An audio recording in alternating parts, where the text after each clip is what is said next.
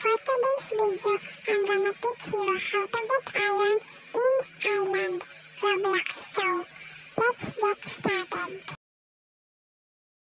So first, you need to get iron ore. If you don't have, go to the portal.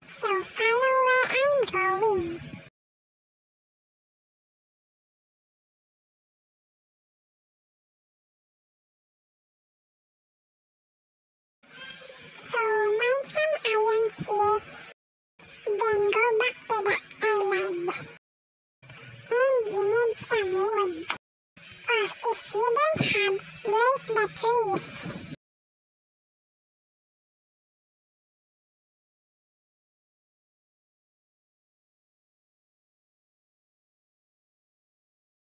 And of course, you need some campfire.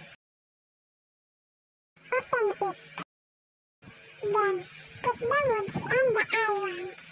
Wait till it's done you see that thing, mean it's done. Then pick it up. There, you have some iron. Thank you for watching. I hope you enjoy my tutorial.